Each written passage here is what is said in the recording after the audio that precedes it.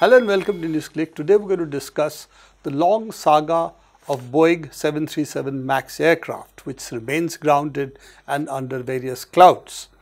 One of the issues that have come up is an ex-employee of Boeing has taken what's called the Fifth Amendment in the United States which means he will not submit documents or give testimony of a kind that can actually cause problems to him in terms of criminal prosecution.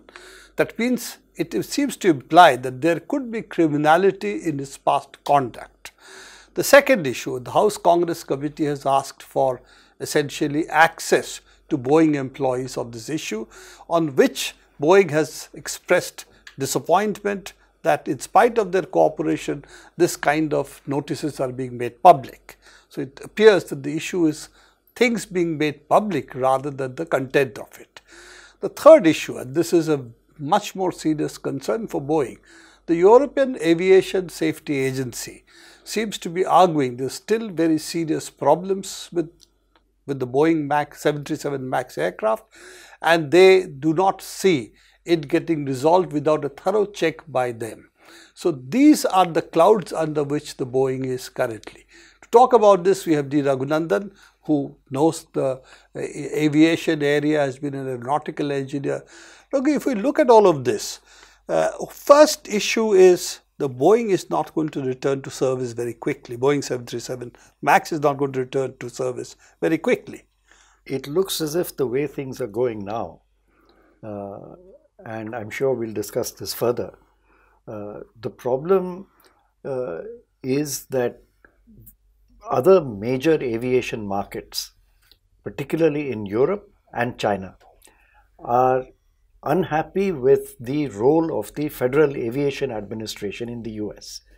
So even when the FAA certifies the Boeing 737 MAX uh, for having undertaken design modifications, etc., and they deem it to be airworthy once more, other agencies are not prepared to take the FAA's word uh, at face value. And regulatory agencies in other major markets are saying, we will do such assessment on our own and then we will clear the aircraft. Independent assessment. That's right. Which means then that even if the FAA clears the 737 MAX, it looks as if initially at least it will fly only in the United States and in a few other countries whom the US can arm twist into following its lead rather than taking independent action. Now, you know, the, this is of course uh, something which could be obviated if FAA and EASA, for instance, had put a joint team to evaluate and examine the, uh, shall we say, the revisions being made. But also looking at the EASA's uh, PowerPoint presentation, which seems to be out, which was presented to the European Parliament, they have put out a number of technical question marks right. over the aircraft. And a lot of them has already been discussed among us. Absolutely. We had also talked about how essentially the MCAS remaining a secret from the uh, pilot was such a huge mistake because he didn't know what the hell was fighting him.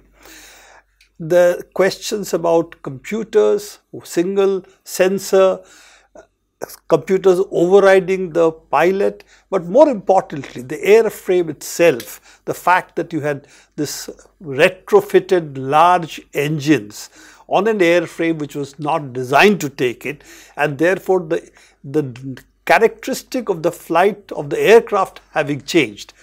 All of this are really some things which do not seem uh, heading for an easy resolution. Absolutely not. And uh, that's the reason why in the EASA uh, presentation, uh, they have highlighted major technical flaws, uh, not only in the MCAS and its allied uh, systems, which resulted in the runaway stabilizer uh, condition, which the caused two, this, two accidents. two accidents of the Lion Air from Indonesia and the uh, Ethiopian uh, airline. Uh, they have highlighted these issues specifically and said we would like to a fully understand the causes of these two crashes.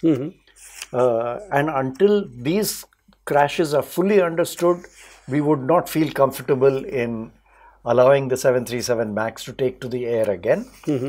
Second, uh, to carry out the various design modifications precisely for the kinds of problems that you uh, discussed, which we have discussed many times on this uh, program, click. which are known uh, problems, the design uh, problems, uh, which have been reiterated by the European uh, agency.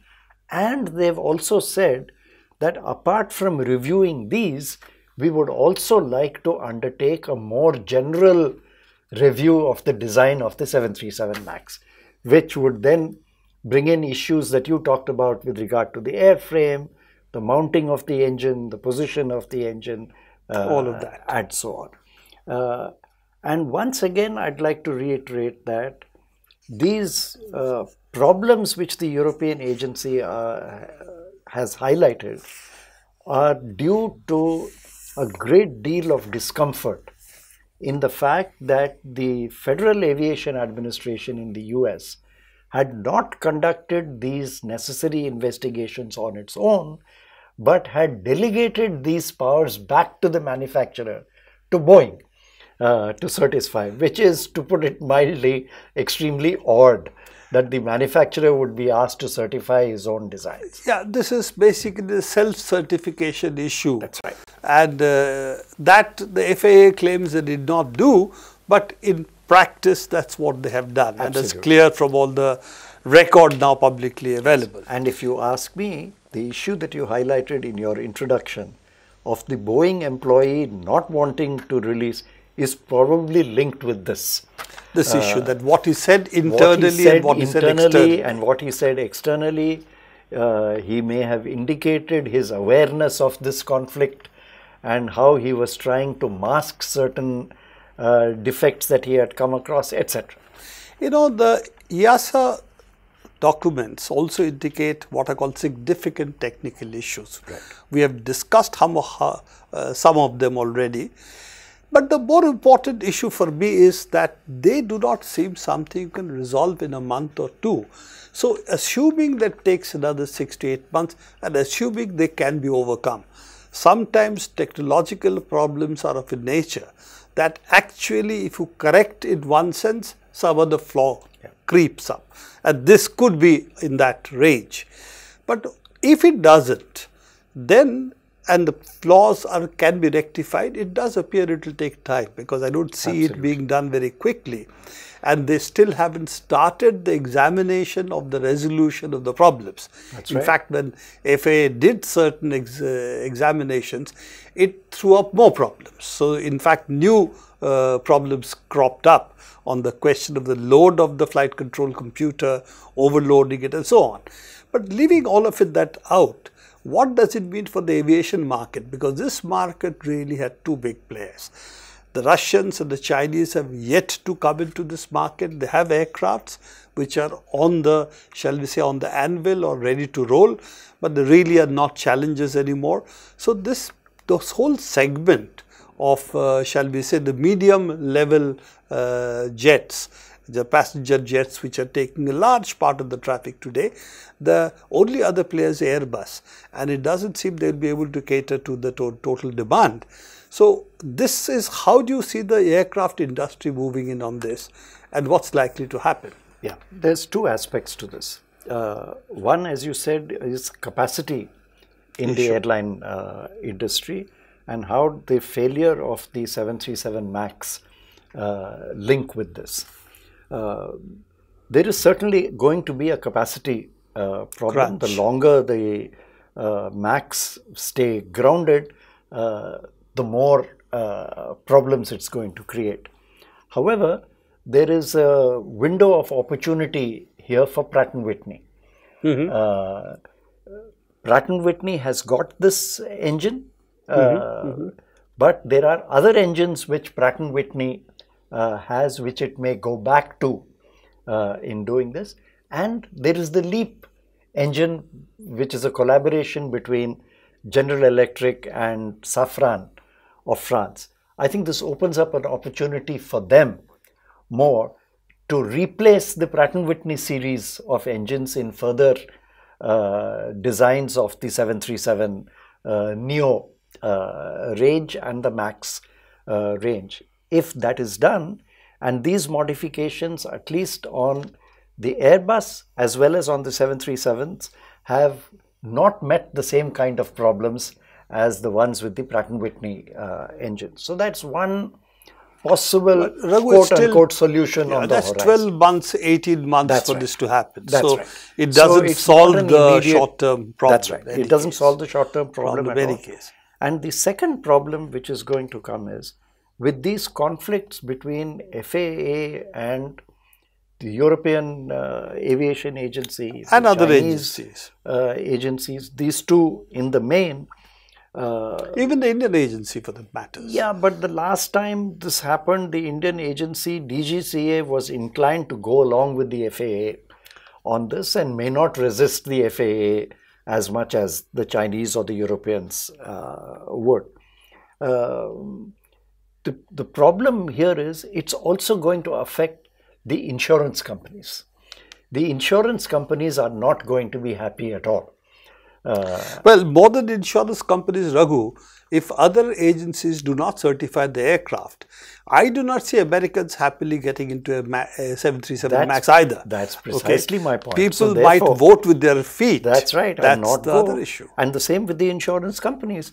If yeah. the Europeans are not certifying it, the Chinese are not certifying it, the insurance companies also will put up their prices. Yeah, let's assume the insurance companies are also uh, arm twisted to certify, but there's very little way of arm twisting the passengers, you know. Mm. And in fact, as we know, immediately this accident happened, the the a lot of the sites which deal with aircraft right. air uh, air reservations they also started telling you That's what right. was the aircraft being used on That's that right. particular leg That's right. so that was an indication that passengers could choose yeah. whether they consider it safe or so not so this is the other aspect of the capacity uh, constraint one is the physical capacity constraint the other is resistance by various stakeholders. Various stakeholders, the passengers included. The passengers especially. In, in fact, I've seen uh, uh, comments that, you know, I'd prefer to drive rather than fly yes. in this aircraft. Sure. So, at the US, sure. a 12-hour drive may be preferable Absolutely. to booking your flight on an air,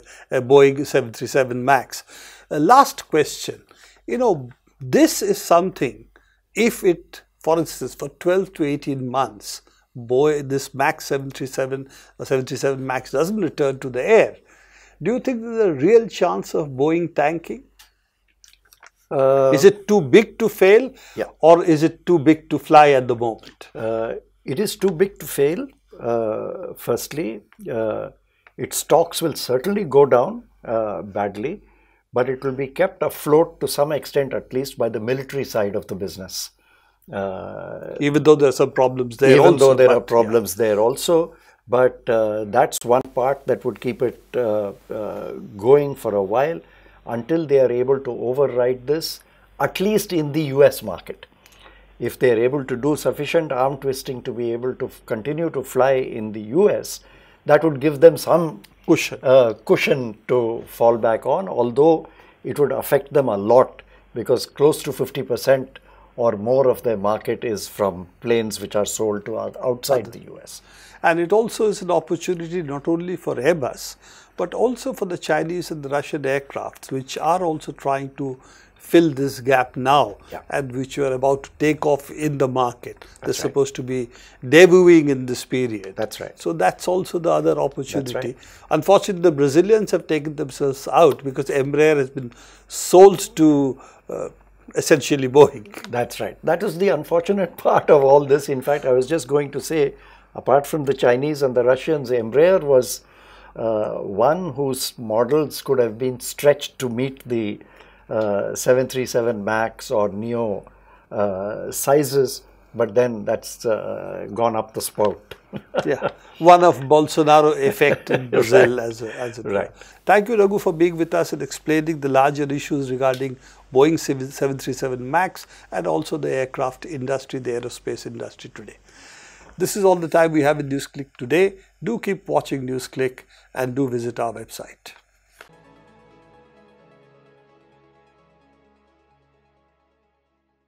you